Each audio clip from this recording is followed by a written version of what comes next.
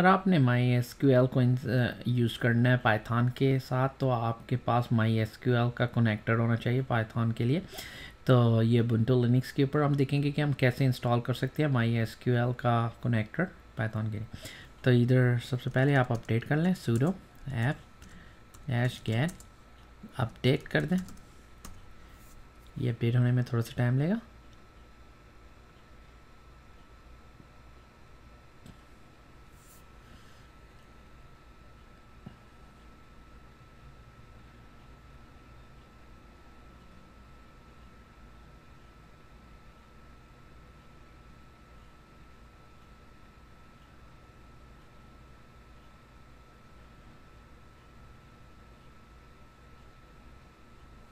अब हम इंस्टॉल कर लेते हैं sudo apt dash get install my S Python Python dash स्पेसरी